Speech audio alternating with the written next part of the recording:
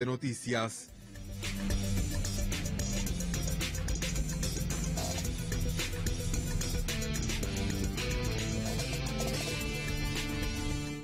Repasemos el acontecer internacional. Como decíamos en titulares, las fuerzas de defensa de Israel se atribuyen haber eliminado a otro alto cargo del movimiento libanés Hezbollah para reforzar su narrativa de atacar al contrario militar cuando las cifras de civiles muertos y las imágenes de barrios enteros arrasados echa por tierra esa misma tesis.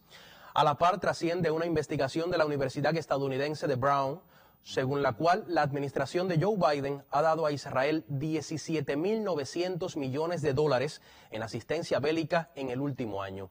El estudio asegura que esta es la cantidad más alta de ayuda militar a las tropas sionistas si se compara con los capítulos de esta guerra en los años 80 del pasado siglo y en el 2006.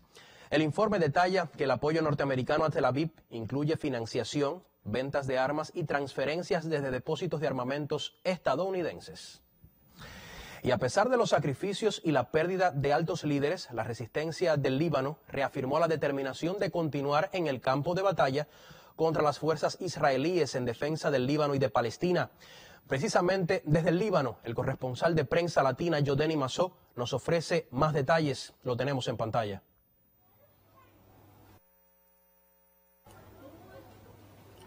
Saludos colegas, gracias por este contacto informativo. Justo cuando se cumple este 8 de octubre un año de la apertura del Frente Sur libanés de apoyo a Gaza y a la resistencia palestina, el movimiento político y militar libanés Hezbollah refrendó su compromiso y su presencia en el campo de batalla en la defensa del Líbano y de Gaza.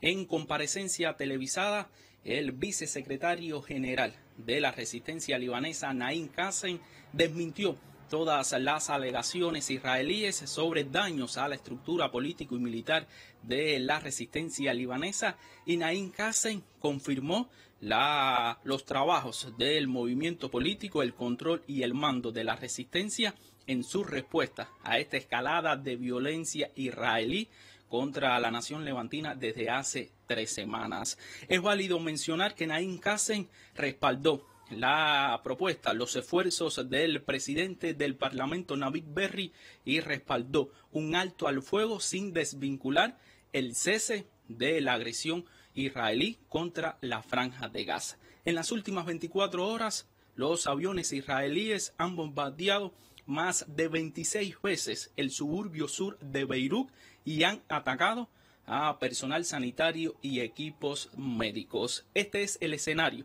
en cuanto a la intensificación del fuego contra la nación levantina. Desde acá, desde Líbano, seguiremos brindando más información. Muchísimas gracias a ti, Denis, por estas precisiones desde Líbano. Cuídense mucho. Nosotros vamos a continuar con más. Y es que un huracán increíble, así describía Milton, un meteorólogo de un canal local de la Florida en Estados Unidos, y al hacerlo pedía disculpas por emocionarse e interrumpir su información. Y es que el pánico se apodera de los habitantes de ese territorio estadounidense, por donde se espera que mañana miércoles entre el ojo del huracán por algún punto desde Cedar Creek hasta Naples, incluyendo posiblemente las áreas de Tampa y Fort Myers. Si bien Milton se debilitó a huracán categoría 4 en la madrugada de hoy, se espera que recobre fuerzas y vuelva a ser un huracán categoría 5 durante esta misma jornada.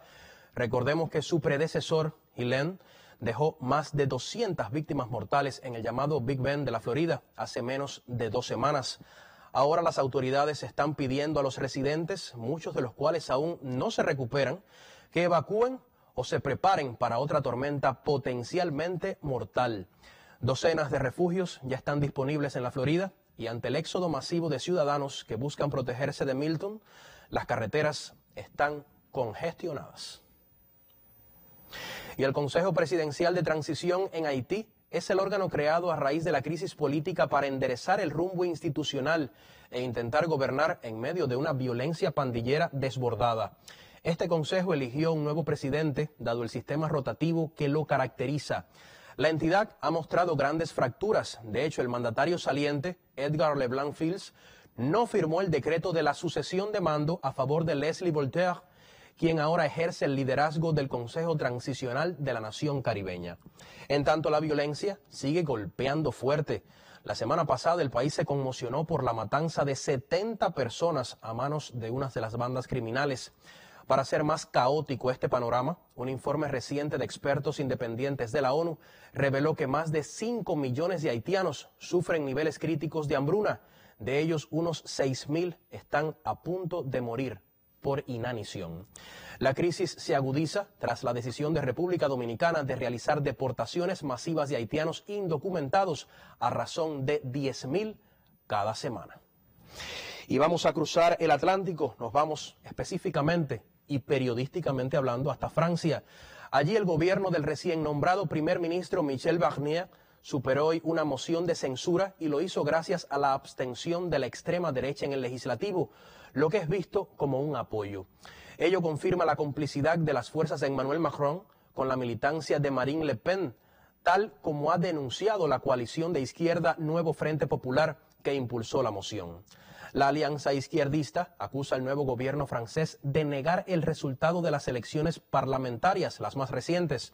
En la votación de este martes, Le Pen declaró que había decidido dar una oportunidad al gabinete de Barnier.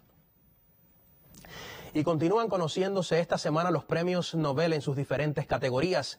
Este martes se informó que el de física se le concedió a los pioneros de la tan polémica inteligencia artificial, John Hoffield y Geoffrey Hinton por sus descubrimientos fundacionales que permiten el aprendizaje automático con redes neuronales artificiales.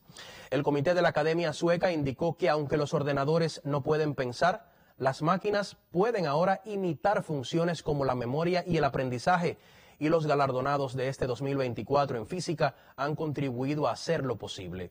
Los premiados utilizaron conceptos fundamentales de la física estadística para diseñar redes neuronales artificiales que funcionan como recuerdos asociativos y encuentran patrones en grandes lotes de datos. De este modo, sentaron las bases del aprendizaje automático que impulsa muchos de los productos actuales, como el reconocimiento facial y la